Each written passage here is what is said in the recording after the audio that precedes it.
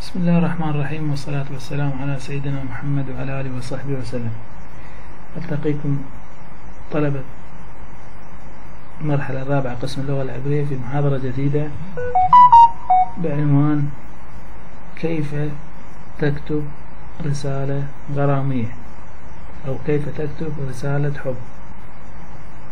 ما أت يا خلال اختوف له بمختار هذا ماذا يمكنك أن تكتبين له في الرسالة الغرامية. إخاد أتي خلال اختوب كما شئت أو هيفد أو تو أنتي أوريم مرقشين أولا بإمكانك الكتابة حول كمية الحب الذي تكنينه له مع أوصاف تثير المشاعر שתיים, את יכולה לכתוב לו מתי היית הפעם הראשונה שהבנת שאת רוצה להיות איתו או שאת מאוהבת בו. ثانيا بإمكانك أن تكتبين له متى كانت المرة الأولى الذي فهمت بأن بأنك ترغبين فيه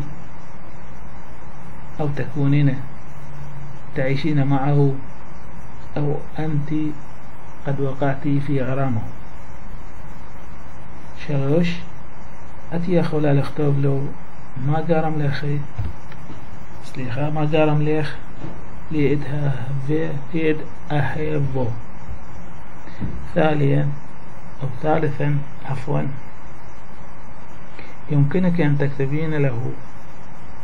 ما سبب حبك له؟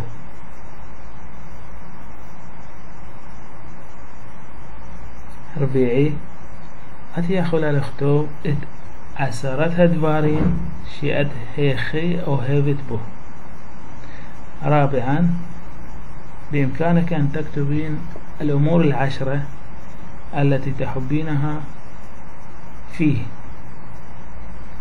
חמש, את יכולה לכתוב על השיר שלכם ולסרטט כל מיני משפטים מרגישים שקשורים לקשר שלכם מהשיר או מהכמה שירים רומנטיים ולחבוך אותם למכתב אהבה.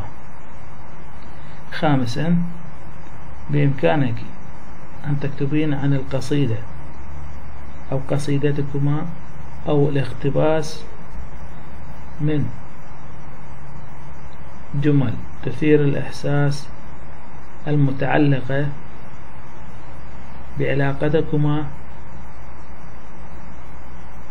من القصيدة أو من من بعض القصائد الرومانسية وتحويلها إلى كتاب أو إلى رسالة حب أو رسالة غرامية.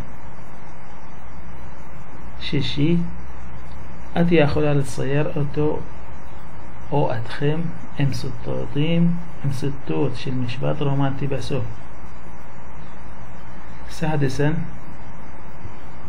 يمكنك وصفه أو وصف علاقتكما سويا مع اقتباسات لجمل غرامية في نهاية الرسالة שביעי, את יכולה להכין לו אוסף משפטי אחווה שיעלו לו חיוך על הפנים או לכתוב לו אני אוהבת אותך בכל מיני שפות.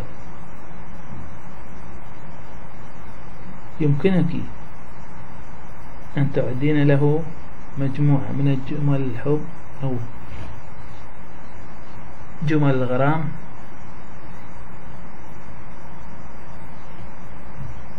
تكتبين فوقها ابتسامة أو وجه ضاحك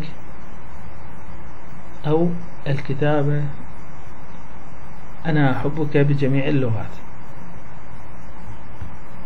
شميني؟ أتي خلال أختوب لو كل ما شيئت رطصة كشر إليخ عكار شي زي من حليب شلخ ثامنا يمكنك كتابة أي شيء بخصوص علاقتكما.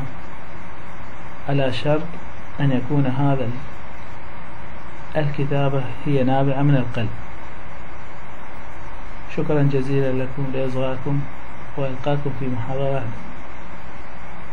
لاحقة إن شاء الله.